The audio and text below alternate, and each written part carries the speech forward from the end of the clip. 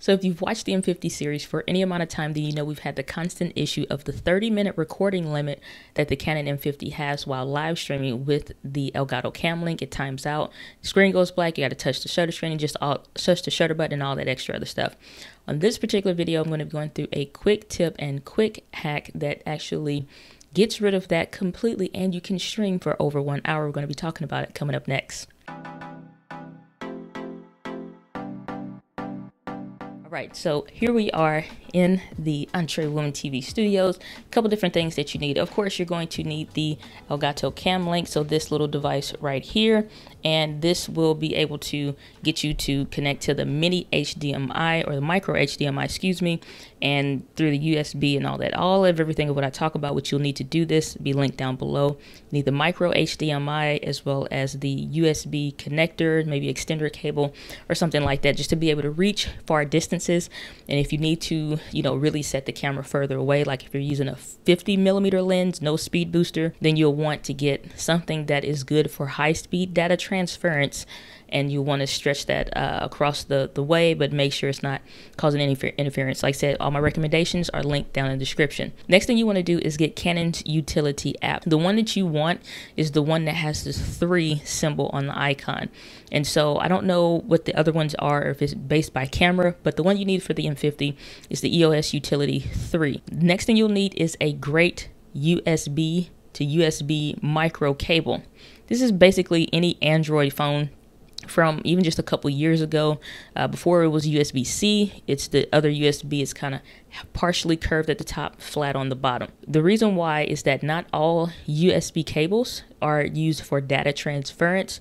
And so if you have one for a phone that came with the phone, chances are that one is the exact one that you're going to need. Again, depending on the length of where you need to set your camera to where you record, you may want to get an extender cable, something that is still not going to interfere with the data. But the more links in the chain that you have, the more possible possibilities you have of failure if you decide to get an extension cable that is not really that great with data transference or it could cause delays, stuff like that. So just a quick tip there uh, when you're hooking that in. Very simple, but there is a process of how you want to connect your camera to get this to work because I tried it a different way in reverse and it doesn't work. So the first things first, you want to plug up the Canon M50 via USB, get your settings dialed in, and you just connect it to your computer and go. Next thing is to connect the micro HDMI to the Canon M50 and then to the computer. After you get your settings dialed in because you still are not able to get the icons to work. It doesn't mitigate the issue with seeing the icons on the screen, unfortunately, which is something I was hoping for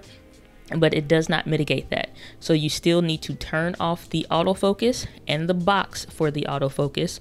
Uh, and all that stuff is in the previous video that I did before, and I'll link that up above. Um, but you need to turn that stuff off, the crosshairs to make sure in the rule of thirds for video, like turn that off, turn all that stuff off. You need to see a very blank screen. Once you got that plugged in, the HDMI, the USB first, and then the HDMI, you're good to go.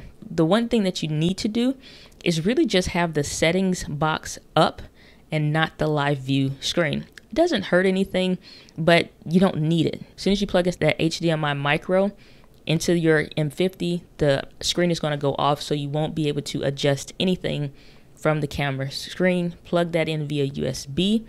From there, you go into wherever platform that you're going to be streaming from. Select the cam link as an option that's really all there is. So let's get into a couple questions and concerns that I've gotten about the Camlink, and I'm sure you may have as well when it comes to doing this particular process to get a look like this. Now that we're able to stream over one hour, which is really, really cool, does it overheat?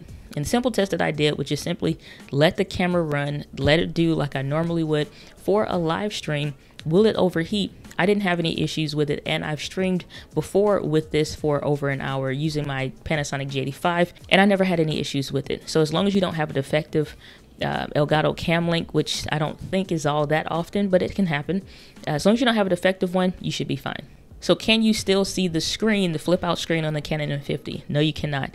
I thought hopefully that maybe the USB side would override the um, actual, you know, flip out screen, but at the same time, you can open up that live view option from within the settings for the utility app for Canon.